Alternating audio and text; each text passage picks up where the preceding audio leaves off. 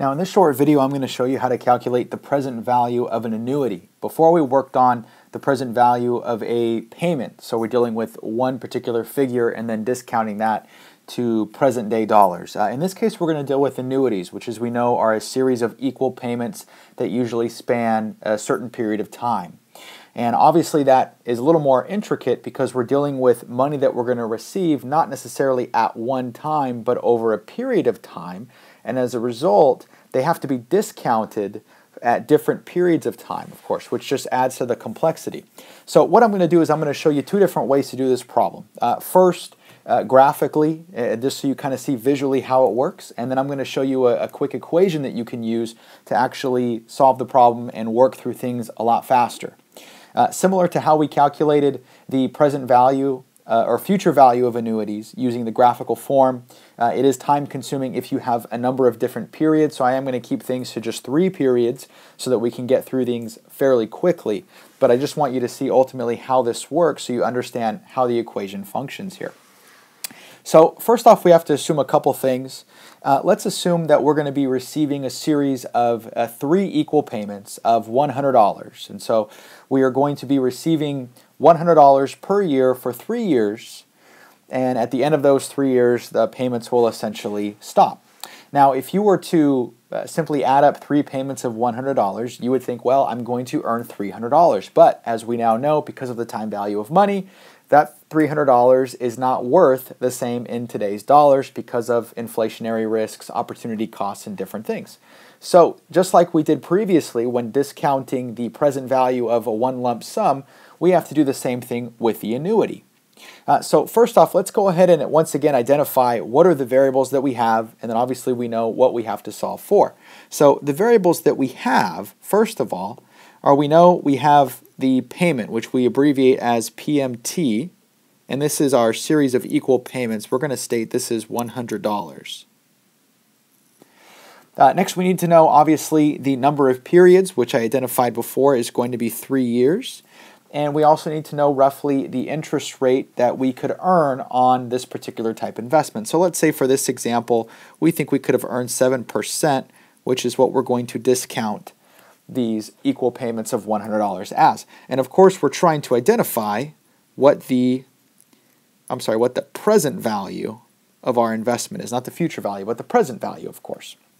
And so, how you would work this out first, kind of longhand, is you want to obviously identify and be really organized in what you're working with here. So, let's draw just one straight line, and we're going to do a couple of hash marks here for the different periods. And let's go ahead and add some numbers to these. So that's 0, 1, 2, and 3. And we're receiving $100 the first period, the second period, and the third period. And so what we need to do is we need to take these from the times that we receive them and then discount them back to today essentially which is identified as period zero. That would be essentially this particular point in time. And so we start with the, closest to the particular time frame we're working with here being the first period and we discount that back to today's dollars here. And so what we have to do is we take that period that payment and then we divide that by 1 plus the interest rate, which is 1.07, of course. And that actually gets us $93.46. And so let's do the same exact thing with period 2. So we'll take this, we'll carry it over, and we'll take 100 divided by 1.07. But the difference here is we have to actually use this and we take that to the nth power. And so for the first example, obviously we're in the first period, so n would be 1. So 1.07 to the first power is 1.07. So very, very simple to do.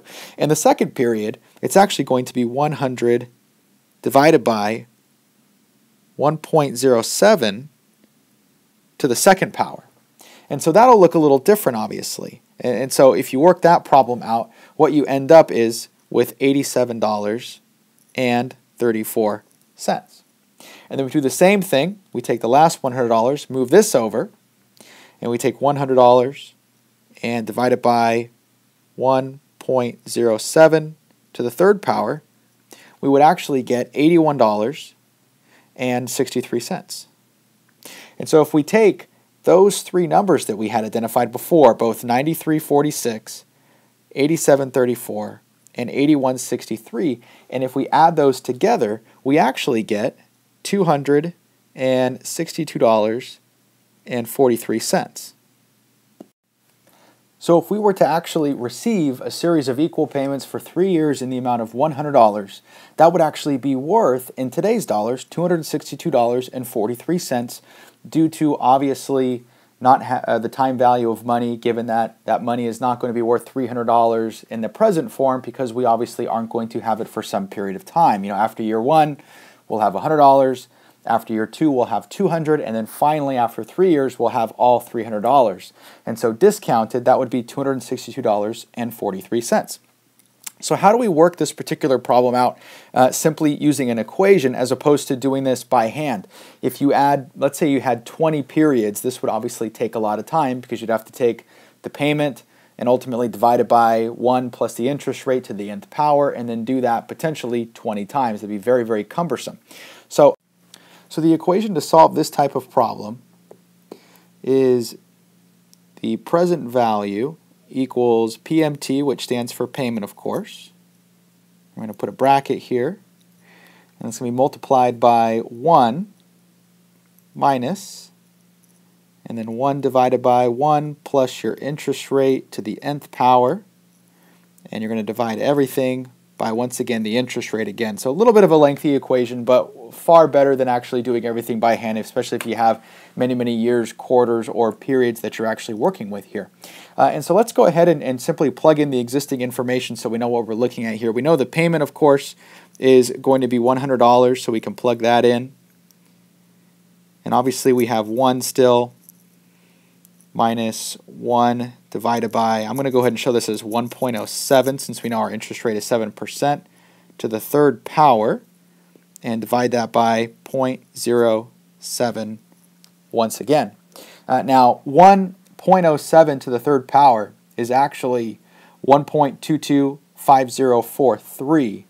Uh, and so if we take that number and if we divide 1, which is this number right here,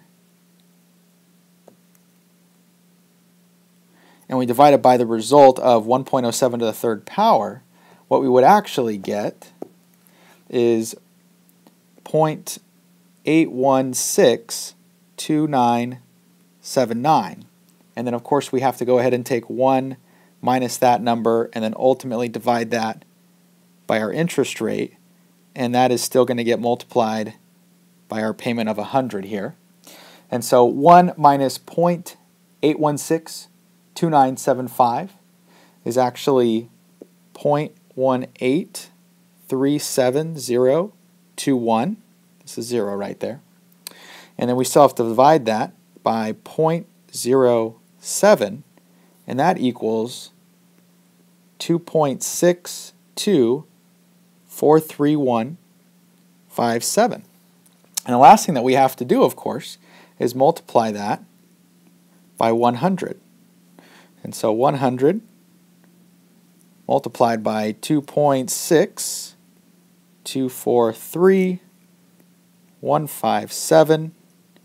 actually equals, coincidentally, $262.43. And so ultimately we got to the same, uh, same place that we did previously. Uh, this was much quicker, of course, and it, it, obviously gets faster when you have multiple periods because the other method gets obviously much slower. Uh, and so you can use either of these methods, of course. If you only have a couple of periods, maybe you want to work things out simply by hand.